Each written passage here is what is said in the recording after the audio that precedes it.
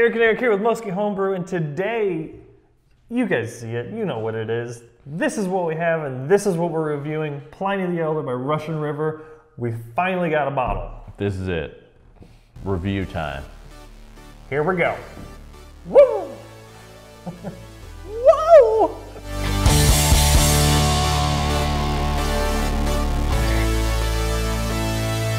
We're gonna open the bottle up, tell you what we think about it. Let's Yeah, go. yeah. Let's do it.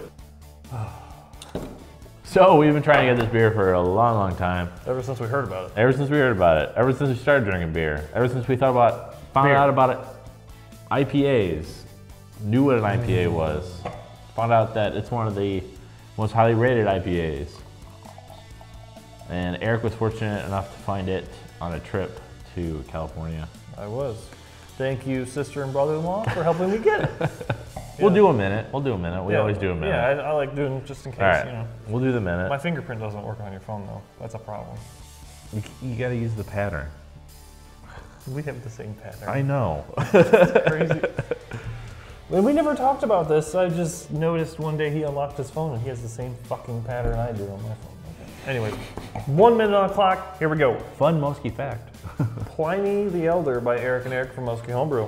59.58. Pliny the Elder. Here we go. Nice gold, clear, yellow in the light. Pretty gold color. Looks Uh, like you're dehydrated and you peed yellow. Good observation. Big, fluffy white head. When it Uh, while mostly lasted, gone. real Nice small lace- bubbles, nice tight bubbles. Nice lacing on the cup. Had to fit that in there. Aroma is kind of a fruity, uh, slight piney, a little bit of like piney bitterness almost. It's like running through pine trees. Are you on Twilight or something? I'm a wolf, bitch.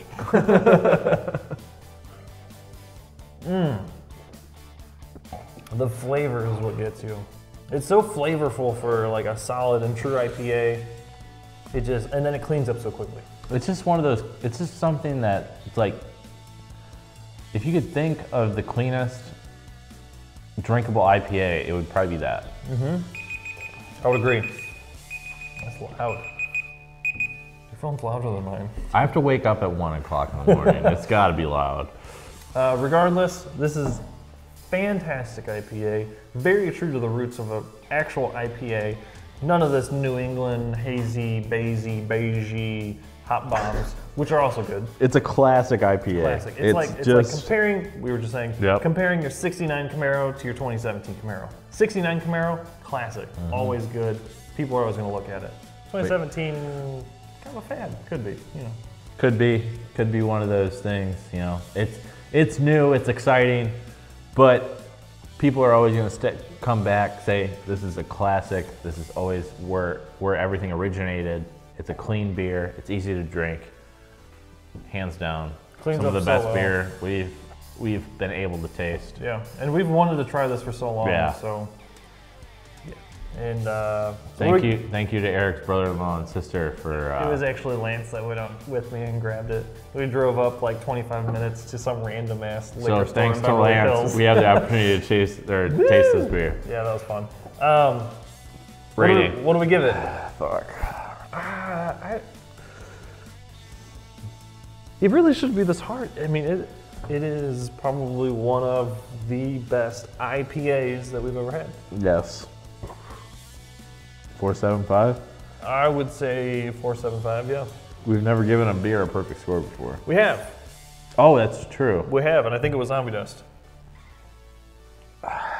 Is this the perfect IPA? That is the question. Zombie Dust is probably the perfect pale. Pale ale.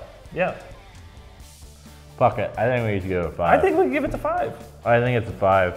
It's overall so well rounded, so easy to drink. Just it's got the bitterness an IPA is supposed to have, but it's got the drinkability that You Well, you it want in a have. beer. Yes. It's I say we give it a five. I say we give it a five too. I think that's a good It rating. It is true to the roots of an IPA. We get so many new and crazy styles to try and grasp a section of people that love hops and hop bombs Yep. now. That this is true to its style, and I say we give it a five. Five out of five. Second beer. Yep. Second beer we've ever given a five to. Plenty of the other. Let us know what you guys think in the comment section below. Make sure to follow us on social media, subscribe to our page, and we will see you guys next time. Cheers, guys. Cheers. Woo! This was a good one. Woo!